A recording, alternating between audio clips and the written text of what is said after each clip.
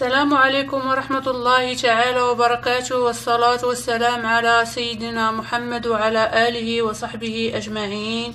اليوم سيداتي حبيت نقدم لك واحد الوصفة بالنسبة كتنفع بزاف بالنسبة آه، الإنسان إلا كانت فيه سخانة ولا كانت يتقية ولا آه، آه، ولا رعف. ولا الطفل آه، ديالك عنده حناش في المسيرنات ديالو اولا حتى بالنسبة آه، آه، للكبار.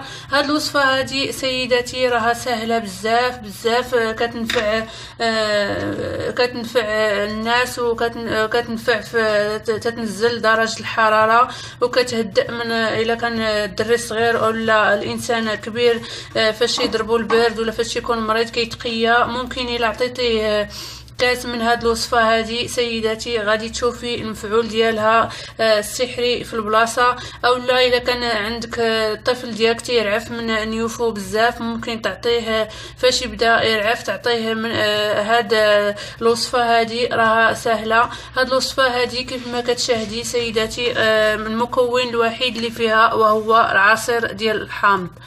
العصير ديال الحامض. علاش جبت السكر وهو أنك إلا بغيتي تزيدي فيه السكر باش يكون حلو ويقدر الطفل ديالك أو لا الإنسان البالغ يقدر يشربه لأن الحامض تيكون حامض بزاف ما تنقدروش نبلعوه. طريقة سيداتي آه، سهلة. لهاد الوصفة هادي إلا بغيتي تنزلي درجة الحرارة أو لا إلا كان الإنسان كيتقيا أو لا إلا رعف آه، ولا إلا عند آه، الطفل ديالك ولا الإنسان الكبير عنده الحناش في المسار ديالو. بهاد الوصفة هادي سيداتي غادي تخلصي من هاد من هاد المس هاد هاد الأمراض. غادي تخلصي بهاد الوصفة هادي. سهلة وزعما الحامض موجود كاع. ولا ما كانش موجود ممكن تشري سيداتي وتحطي عندك في الدار تينفع بزاف في بعض من هاد الأمراض هادي. إلا كان عندك الطفل ديالك طالعة عليه السخانه ممكن تعطيه شوية آه، كاس نص كاس ديال العصير ديال الحامض. ديري فيه السكر ولا العسل باش باش يولي حلو باش يقدر يشربو. من بعد مرور واحد شوية غادي تنزل ليه الحرارة. وبالنسبة إلا كان تيتقيا ولا شي حاجة ممكن تعطيه نفس المقدار آه، ديال عصير ديال الحامض نص كاس.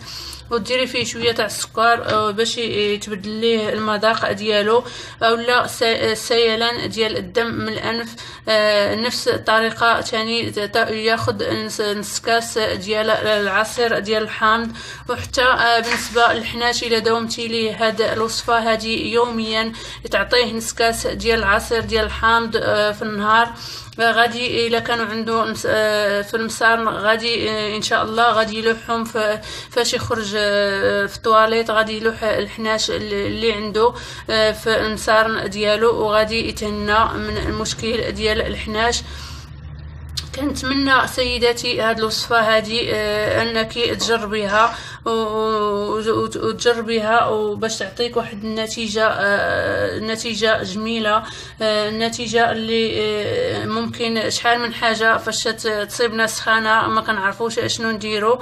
الحامض ديما سيداتي احتفظي به عندك في الدار لأنه كينفع بزاف في بعض بحال هاد المسائل هادو اللي كتصيب الإنسان بالليل تقريبا بزاف الليل كتصيبو سخانة أولا كيبدا يتقيا أولا كيرعف.